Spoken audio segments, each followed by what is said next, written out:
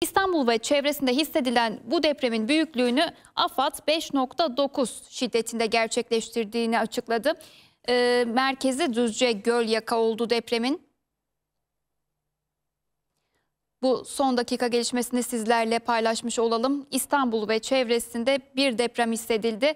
AFAD açıklamada bulundu. 5.9 şiddetindeki depremin merkezi, merkezi de Düzce Gölyaka oldu.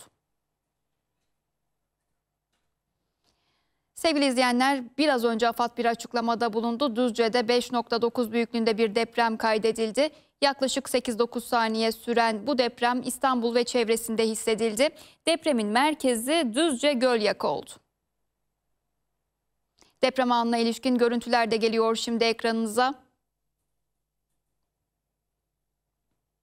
İstanbul ve çevresinde hissedilen bu depremin büyüklüğü 5.9 şiddetinde gerçekleşti.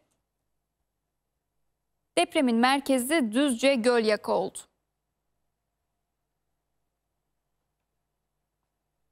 Geçtiğimiz dakikalarda gerçekleşen depremin merkezi Düzce Gölyaka şiddeti 5.9 olarak açıklandı. AFAD'ın son açıkladığı veri bu şekilde oldu.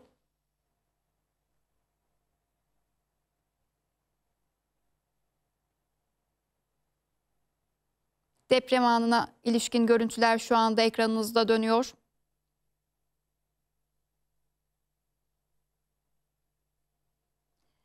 Saat 04.09 sularında gerçekleşti deprem.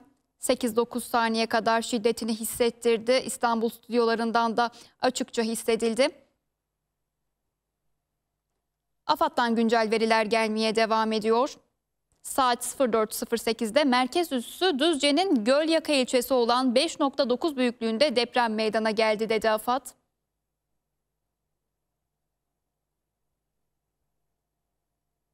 Merkez üssü Düzce'nin Gölyaka ilçesi oldu. Deprem anına ait görüntüler de yavaş yavaş elimize ulaşmaya devam ediyor. Depremin şiddeti bir avizeyi sallamaya yetecek kadar güçlüydü. İstanbul stüdyolarımızdan da rahatlıkla hissedebildik. Yaklaşık 8-9 saniye boyunca şiddetini hissettirdi deprem. Düzce'de meydana gelen depremin şiddeti 5.9 olarak açıklandı AFAD tarafından. İstanbul ve çevresinde de rahatlıkla hissedilebildi.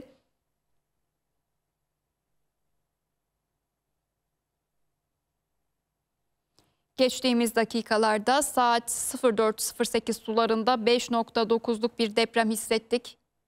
İstanbul ve çevresi de bu depremle uyandı.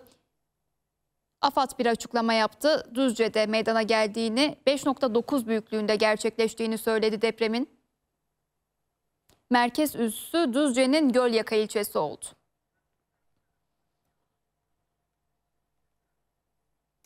Umut Erol telefon hattımızda Haber Global muhabiri. Şimdi bize depremin detaylarıyla ilgili bilgilendirecek. Merhaba Umut.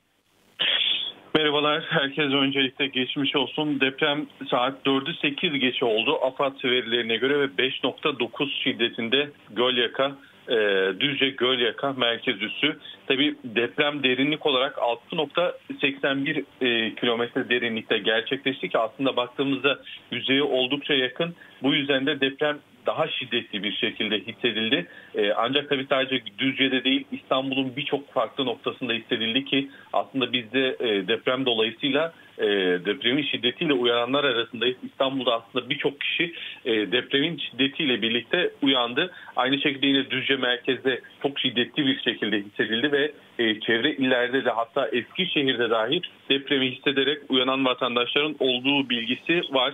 Dediğimiz gibi birçok farklı noktada hissedilmiş durumda. Tabii depremin hemen ardından şu anda özellikle Düzce'de e, çalışmalar başlamış durumda. Herhangi bir hasarlı e, nokta var mı yok mu e, varsa nasıl bir müdahale gerçekleşecek? İşte bununla ilgili Düzce Valiliği de şu anda çalışmalarını başlatmış durumda. Yine bölgede AFAD ekipleri de e, çalışmalarını başlatmış durumda. Tabii bizim temennimiz herhangi bir hasarlı yapının olmaması yönünde ancak dediğimiz gibi şu an için bölgede e, bu konudaki arama tarama faaliyetleri devam ediyor. E, dediğimiz gibi depremin özellikle yüzeye çok yakın olması 5.81 e, kilometre demek e, 6.81 kilo, e, kilometre demek yüzeye çok yakın bir nokta demek ki e, zaten biliyorsunuz e, çok daha rahat bir şekilde herkesin bu depremi hissetmesi anlamına geliyor. E, tabii bir noktada da vatandaşların da paylaşımlarına bakıyoruz. Herkes depremle birlikte ciddi bir korku da yaşadı. E, çünkü biliyorsunuz depremle ilgili Türkiye'nin acı tecrübeleri de var.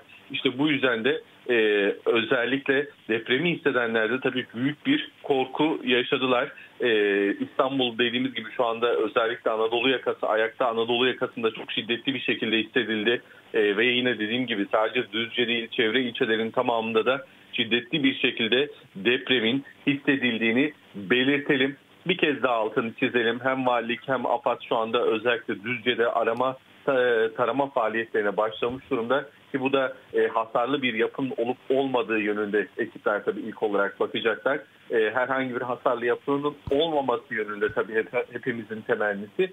E, ancak e, diğer noktalarda da e, gerekli önlemler gerek AFAD gerek e, valilik tarafından hemen alınmış olunacak. E, dediğimiz gibi e, şu an için e, bir kez daha isterseniz vurgulayalım 5.9 şiddetinde bir depremden bahsediyoruz. Büyüklüğünde bir depremden bahsediyoruz ve e, 4'ü 8 geçe gerçekleşti. E, Düzce Gölyaka ilçesinde e, işte o depremin hemen ardından da dediğimiz gibi e, gerek valilik gerek AFAD tarama faaliyetlerine başladı. E, herhangi bir hasarlı yapı olup olmadığına bakıyorlar. Ve e, bir kez daha e, söyleyelim.